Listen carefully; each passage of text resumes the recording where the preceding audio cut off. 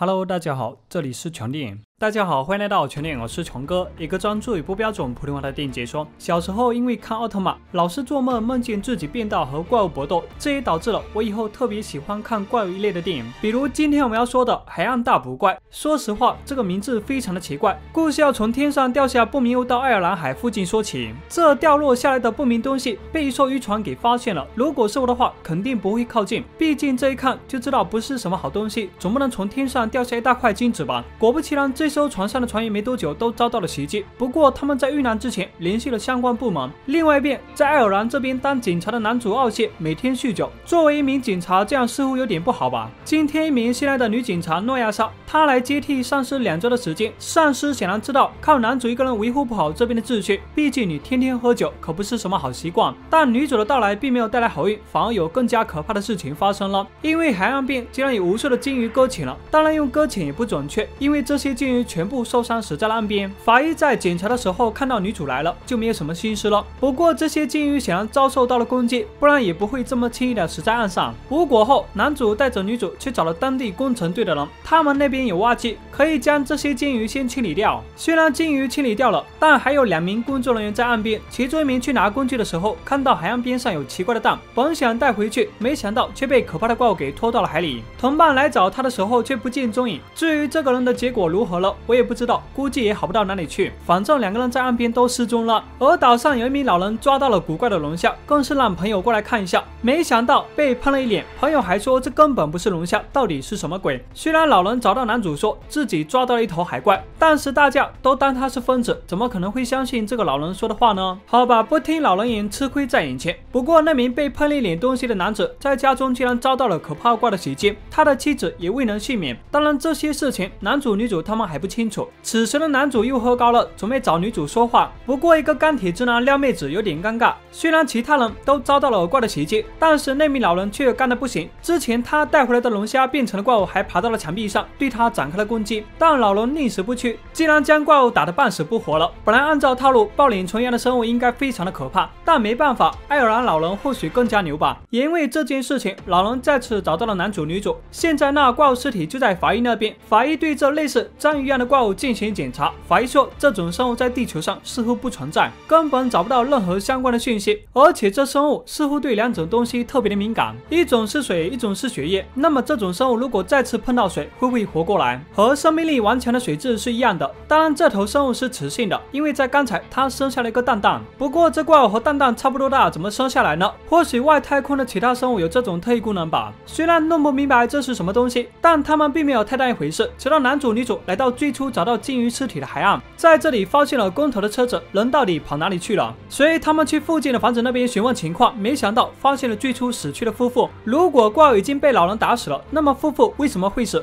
显然怪物不止一只，而且极有可能是雄性的，力气大到能打碎浴缸。他们需要去确认下最初发现鲸鱼尸体的附近那边是否有怪物，如果有的话，那后果不堪设想。而且今晚可能有暴风雨要来了，留给他们的时间已经不多了，即使联系外界寻求帮助，也需要等到明天。要是真的有其他怪物，那么本来这怪物是需要水的，没有下雨岛上还好，一下雨岛上都是水，那就尴尬了。男主和女主进入到岸边的一个山洞内寻找，却发现了最初失踪船员的衣服，更是在这里看到了无比巨大的怪物。而老人则在岸边发现了怪蛋，靠近一看，却被里面的东西给吓到了。显然这就是那种怪物所生的，里面的小怪物显然要孵化了。眼见不对劲，几个人拔腿就跑。男主准备毁掉雌性的尸体，不然一旦雌性和雄性遇上了，生出更多的怪物，那就完了。不过男主。有点坑，用火烧也要选地方，在实验室内导致消防喷头直接发射，将水洒在了怪的身上，有了水，他甚至活了过来。好在磁性比较弱，男主只是被喷了一脸液体，外加被抱住吸血。不过男主喝酒了，所以怪物对他有点过敏，不然男主早就死了。原来喝酒还有好处啊！既然知道怪物怕酒精，那就要想办法让他喝下去。男主和女主几个人偷偷的集结群众，当然在此之前，他们需要进行测试，多少酒精浓度可以干掉怪物。女主主动测。测试，都说不喝酒你不了解一个人。女主不喝酒前非常的正经，也很不错，但是喝了点酒之后，真的完全变了一个人。不过他们至少得出了浓度在零点二左右就可以干掉怪物，看来要喝不少酒啊。所以男主集结了小镇上的人，表示今晚大家好好狂欢一下，有免费的酒供应。果然，爱尔兰的居民对酒真的是非常的痴迷。当然，他们肯定不知道男主他们所做的目的，只要大家都喝高了，血液内蕴含酒精，怪物就不会吃了他们。但真的是如此吗？就在男主和女主在车内培养感情的时候，